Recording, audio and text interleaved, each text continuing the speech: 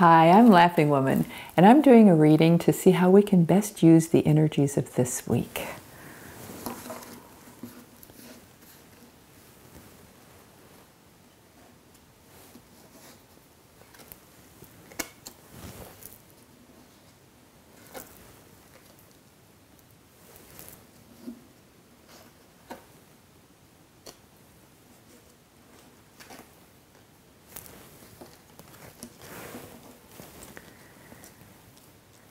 Okay, we have a nice mix this week of spirit, fire, which is our passion, thought, and emotion. We begin the week by standing in our strength, by having the power to say who we are and not apologize for that, but just be ourselves in the world and know that as a person, as a human being, you are competent and capable to do whatever you set out to do. From our strength, we move into enthusiasm. That is just that inborn joy that tells us yes, say yes to life, say yes to yourself, say yes to other people.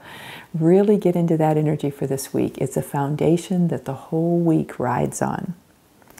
In the middle of the week, we're in our wisdom. This is a point where all of that enthusiasm and strength comes together with our experience of life and we make some decisions about how we want to be in any given situation. When we're coming from wisdom, we're coming from a place of compassion for ourselves and for other people, of experiential knowledge about what works and what doesn't work, and what'll get us where we want to go, what'll take us farther away from that. So be sure that during the middle of the week, you're asking yourself some of those kinds of questions and weighing your options. This is a week where um, distortion can come in a little bit. And because that follows right on the heels of wisdom, what I would say is that some of us in some situations are probably likely to believe we're using our wisdom when actually what we're doing is reacting to the situation. So make sure when one plus one doesn't equal two in a situation you're in this week, that you step back a little bit, reassess and see if you're seeing what's really there or if you're reacting to something that's a little distorted in your vision and giving you a different perspective than, uh, than the other people in the situation have. Also, toward the end of the week, you're going to want to make some decisions about how you show up in situations.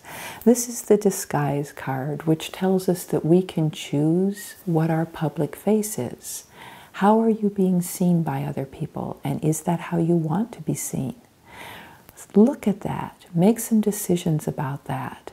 You're not being untrue to yourself by choosing to show up in one situation one way and another situation another way.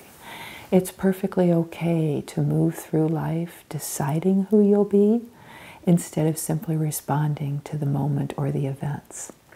So, in summary for this week, Begin with strength, that strength that comes from within, and lets you know that you are the answers in your own life. You are the wisdom in your own life.